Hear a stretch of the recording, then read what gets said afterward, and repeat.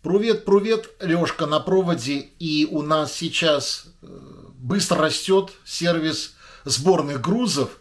И вот я сегодня просто хотел э, уделить несколько э, внимания нескольким вопросам, просто для того, чтобы вам проще было и планировать, и нам проще было работать. У нас два сервиса на самом деле глобальных. Это Хельсинки Питер на СВХ белые грузы, ваша таможня, ваш брокер, ваш контракт, мы только возим. И второй сервис – это Вильнюс, Питер и Вильнюс, Москва. Это с нашей таможней по дороге. Э, соответственно, по каждому из этих сервисов есть некие нюансы, которые особенно вот сейчас э, стали сложны. И э, по каждому нюансу я хотел бы вот сейчас в двух словах вам дать информацию. Ну, первое, э, мы говорим о сборниках э, Хельсинки-Питер.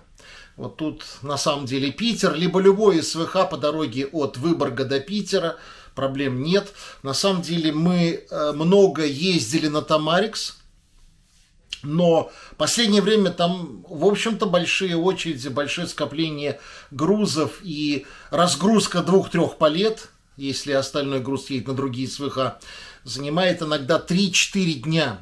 Поэтому э, первое внимание, attention, э, на Тамарикс лучше не ехать. Попробуйте использовать другие СВХ, тем более между Выборгом и Питером их очень-очень много. Э, момент э, важный по Хельсинки-Питер, по первому нашему сборнику, это то, что на границе нет очередей, в отличие от той ситуации, которая э, происходит на латышско-российской, литовско-белорусской границе, э, эстонско-русской границе. По Котке, по Финляндии финско-российская граница пустая, и я могу честно сказать, мы иногда проходим ее даже за несколько часов. Ну вот максимум был э, в январе, это сутки мы стояли. То есть в отличие от э, Прибалтики, сборка из Хельсинки в Питер идет быстро. Это два дня в среднем. При том, что так как объемы у нас увеличиваются, то мы запустили каждый день по одной машине.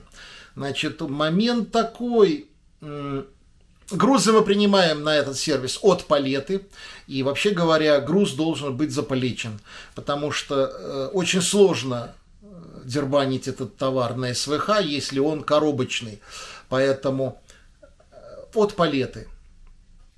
Цены, в общем-то, я давал, не хочу сейчас говорить, потому что цены, в общем-то, меняются. Меняются по разным причинам. К сожалению, очень нестабильный рынок. Вот, э, но, тем не менее, есть один важный момент, э, вот я не знаю, как донести его до каждого. Э, по сборке Хельсинки-Питер сейчас половина кодов таможенных находится под санкциями. Вот если под, сан, под санкциями код находится, то ни под каким соусом мы его брать не можем. Вторая половина, большая половина кодов находится не под санкциями, а под э, двойным назначением или что-то типа это, luxury и так далее. Вот по этим грузам мы готовы, в принципе, брать на себя обязанность, заботу, переписку с финской таможней. Мы э, готовы вызывать таможенников на склад на досмотр, мы готовы общаться с ними долго и нудно, конечно, при условии, что вы нам будете давать э, материал, а именно письма от, от производителей на английском языке о том, что груз не является двойным, не является luxury, еще какие-то моменты э, с описанием, что это за груз, где он применяется и так далее, и так далее, и так далее.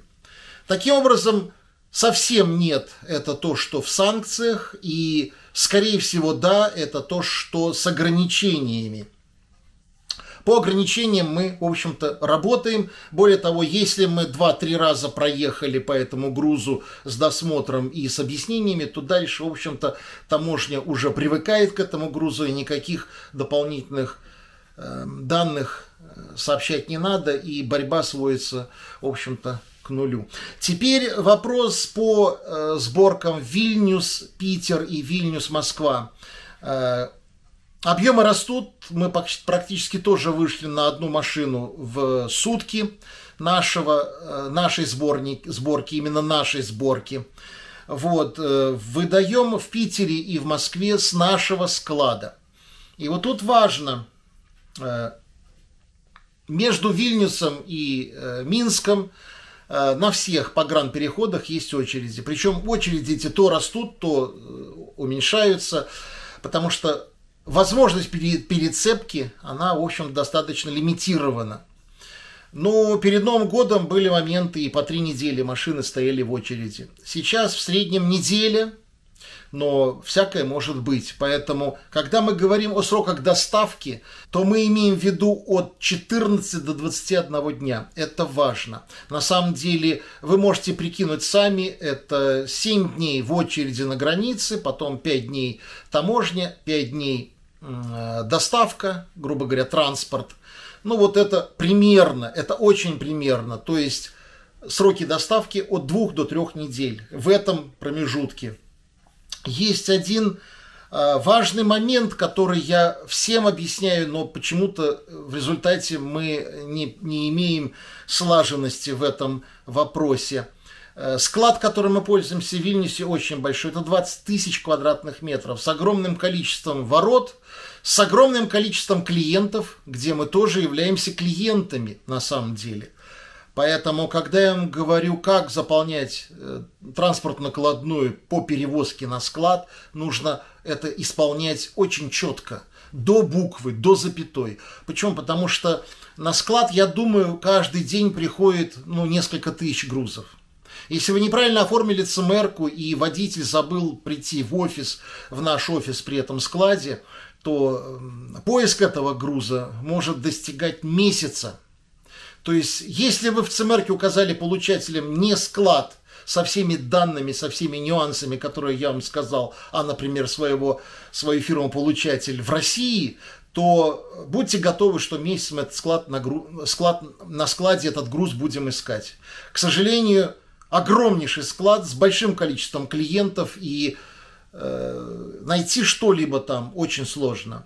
Есть еще один момент, э, который очень важен, который, к сожалению, есть. Мы не оказываем услуги по отслеживанию груза. Вот груз пришел к нам на склад, и дальше у вас есть только один вариант ждать, пока мы вам сообщим, что груз в Питере или в Москве, и вы можете его забирать. Почему так происходит? Потому что в среднем в машине мы в Вильнюсе принимаем не от палеты, а от коробки. И в Вильнюсе такая ситуация, что очень много совсем мелких грузов. У нас в машине находится, может находиться до тысячи грузов разных клиентов.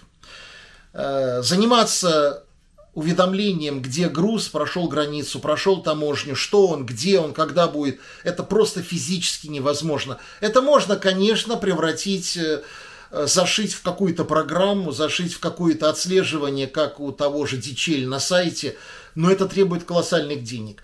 А клиент сейчас пошел очень жадный, и за каждую копейку, за каждую копейку идет спор. Поэтому мы решили не устраивать сервис отслеживания и просто просить вас ждать, пока мы вам сообщим, что груз на месте, и вы можете его забирать.